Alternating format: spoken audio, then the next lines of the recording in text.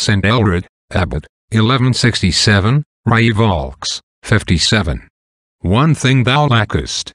In these words God called Aelred from the court of a royal saint, David of Scotland, to the silence of the cloister. He left the king, the companions of his youth, and a friend most dear, to obey the call. The conviction that in the world his soul was in danger alone enabled him to break such ties.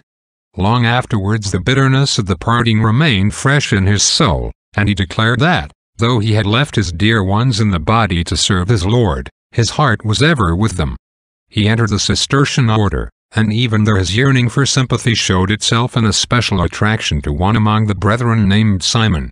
This holy monk had left the world in his youth, and appeared as one deaf and dumb, so absorbed was he in God.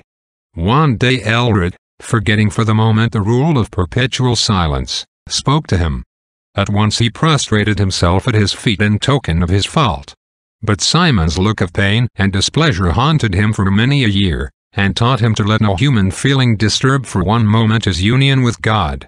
A certain novice once came to Aelred, saying that he must return to the world.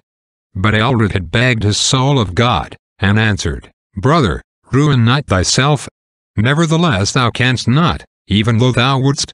However, he would not listen, and wandered among the hills, thinking all the while he was going far from the abbey. At sunset he found himself before a convent strangely like Rievaulx, and so it was. The first monk he met was Aelred, who fell on his neck, saying, Son, why hast thou done so with me?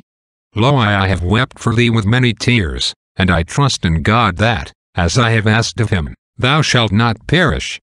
The world does not so love its friends.